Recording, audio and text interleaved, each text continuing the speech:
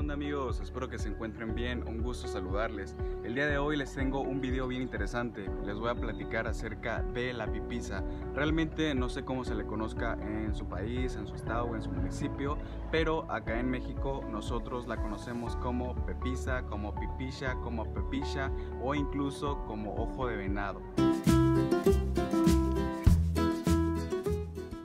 Bueno, y así rápidamente les quiero platicar por qué decidí hacer este video. Lo que pasa es que la pipisa forma parte de mi dieta, o sea, prácticamente todos los días por la mañana consumo mi fracción de pipisa.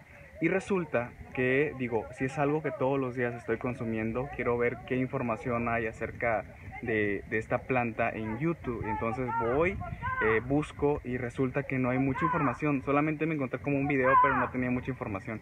Y digo, bueno, si sé acerca de ello, ¿por qué no compartir la información? Y es por eso que el día de hoy les tengo este videito para compartirles datos interesantes acerca de la pipisa. Acompáñenme y descubramos. La planta de pipisa se caracteriza por sus flores y el aroma que desprende. Además, se le atribuyen propiedades medicinales y puede funcionar como antiinflamatorio. Es rico en vitaminas B y C, como también aporta minerales como fósforo, hierro y calcio. Me gustaría compartirles este pequeño anécdota y es que comúnmente siempre confundimos a la pipisa con el pápalo y ustedes han de decir, oye Saulen, pero ¿qué no es lo mismo? Es correcto, pertenecen al mismo género, pero, pero son especies distintas. Hagamos de cuenta que son como primas. Y el día de hoy les voy a mostrar aquí un ejemplo claro para que las podamos distinguir.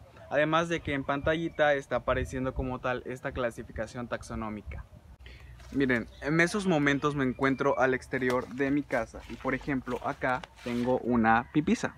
Esta pipisa ustedes han de decir, oh, ¿cómo es que nació aquí? ¿Cómo fue que creció? Bueno, lo que pasa es que en la parte de ahí arriba tengo allá mi huerto y entonces acuérdense que la pipisa cuando ya está en su punto máximo de crecimiento empieza a florecer, tiene su flor y ahí viene la semilla y la semilla se empieza a esparcir y en este caso esta semillita cayó por aquí y miren, aquí está esta pipisa. Realmente con que nosotros toquemos la pipisa, tiene un olor súper, súper agradable. Huele súper rico. Yo soy fan de hacer esto. Miren, hacer esto, hagan esto, hagan esto y... ¡Ah! Huele a gloria. Vean nada más, qué hermosura. Claro, y si nos vamos por este lado, acompáñenme, vamos a encontrar al señor Pápalo. El señor Pápalo, eh, la semilla cayó por este rumbo. Vean nada más, esos son pollitos de mi hermano. Bueno, el señor lo cayó de este lado, aquí está, véanlo, vean nada más ustedes.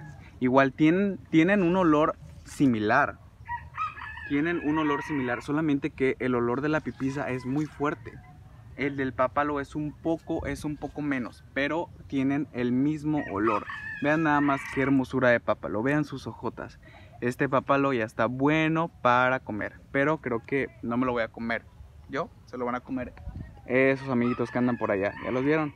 esos se van a agandallar este papalo. Debido a los pocos usos no se establecen plantaciones. Su forma de propagación es de forma natural, por medio de semillas, llamadas aquenios. Se desarrolla a mediados de verano y llega a la madurez para florecer a mediados de otoño. Para su consumo humano se cosecha cortando cerca de la base a mitad de su ciclo de vida, antes de florecer. Miren, por acá vamos a encontrar otra pipisa. Aquí hay una pipisa. Por acá hay otro pápalo.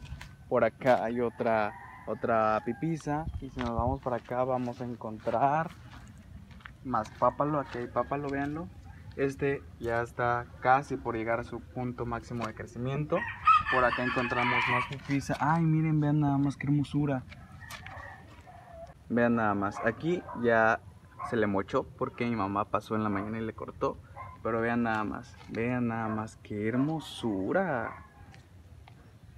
Eh, resulta que ese tipo de plantas herbáceas con mayor frecuencia abundan en lo que es la selva baja caducifolia.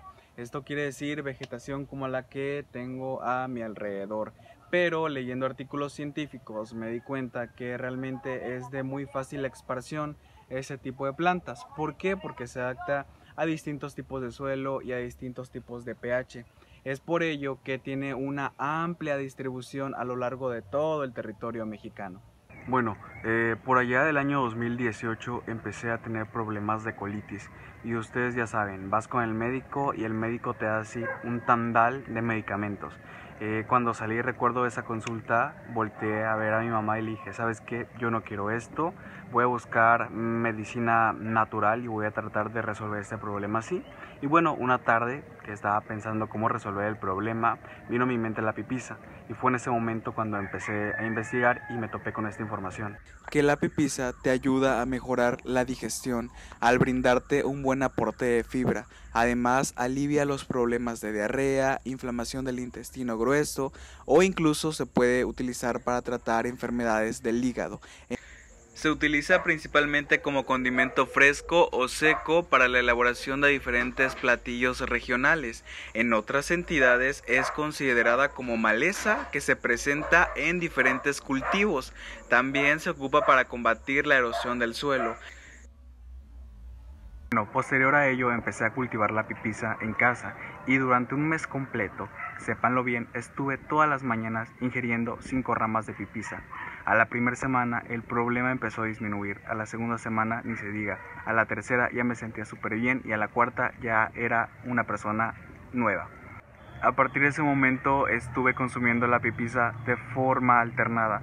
Esto quiere decir que lo hacía aproximadamente 3 o 4 días a la semana. Y bueno, también empecé como tal a moldear algunos hábitos alimenticios. Mi dieta empezó a cambiar.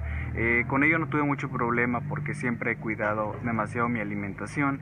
Sin embargo, ustedes ya saben, ¿no? Por el estrés de la universidad, las tareas y todo esto, pues normalmente uno, uno se enferma.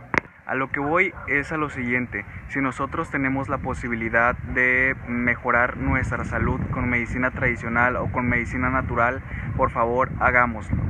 Hagámoslo porque ustedes no saben el bien que le estamos haciendo a nuestro cuerpo. Por ejemplo, en la parte de atrás, ¿saben qué tengo? Tengo a la pipisa, véanla. ¿Ya la vieron? Mmm, buenísimo.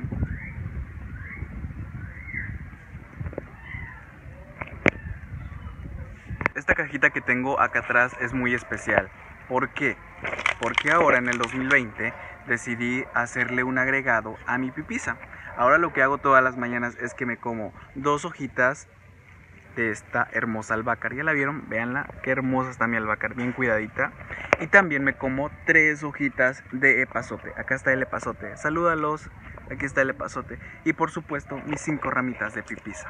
Por ejemplo, el epazote eh, nos ayuda a desparasitarnos y la albahaca nos ayuda a mejorar nuestro sistema digestivo. Véanla nada más, qué hermosa.